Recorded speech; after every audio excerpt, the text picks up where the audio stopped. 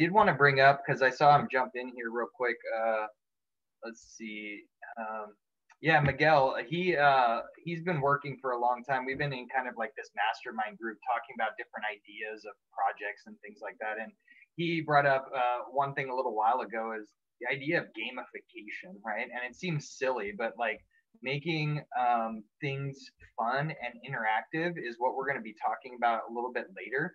But um, yeah, so uh, Miguel, uh, um, Dan Mapes is going to be joining us today, and his whole discussion is going to be about that interconnectivity of uh, real world uh, experiences and spatial um, places and that overlay of the digital. So it's really interesting when you talk about these things as being connected or there's an overlay or it just makes it fun um, is that when you're in a community in Tijuana and you see a, a, situation that needs to be cleaned up, it would be great to drop a pin and notify, you know, a church organization. It looks like this needs help, right? It looks like this this needs uh, something um, uh, that could be addressed, and and people kind of accumulate around it.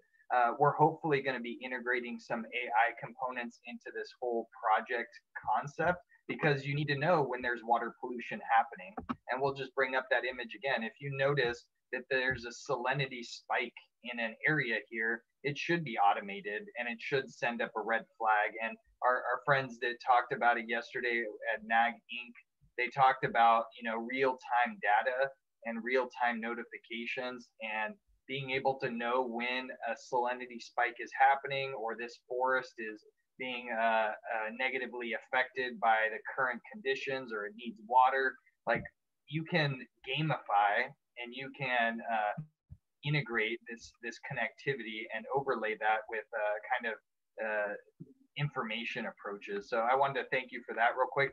Um, Alan, um, Dennis is still here. Maybe we can talk about, if, if you can, Alan, sorry to put you on the spotlight, but um, that overall conversation that we had originally um, and uh, that that discussion about how we initiated uh, the Laguna Salada project and how our predominant um, goal is to um, benefit the Cucapá tribe that are there.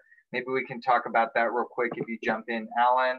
I'm going to kind of uh, go through our list too if we have anybody else that wants to speak um, or have any questions. Anybody that wants to drop in, just drop something in the comment box. Um, it looks like we have a couple different topics going on. And we have uh, some music coming up at 12.30, about 15 minutes.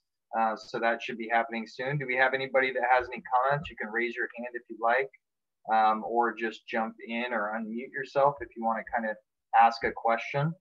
Uh, feel free. Let's see. So overall uh, discussion piece that we're kind of coming to, uh, we're going to take a break for a little bit and then we're going to jump into some other discussions with Ethan. Um, oh, Gabby, you have a question? Yeah, please. Hold on, you got uh, your mute on. I had never heard the word gamification before. And so I just briefly looked on my favorite uh, search engine, Twitter, uh, which has a lot about gamification in Mexico.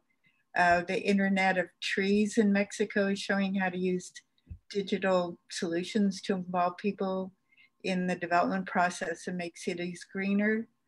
And uh, just wonderful things. Uh, if you, I, I, think you're really on the right track uh, with gamification, spatial inter uh, individual um, contributions to an online network in a kind of gamification way. I'll just add one last thing uh, by one expert who said, gotta have dice in the classroom. Very cheap and can be used for so many things. Kids love it.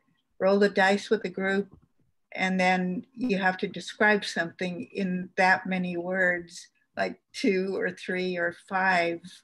Um, even spatial inequalities uh, in communities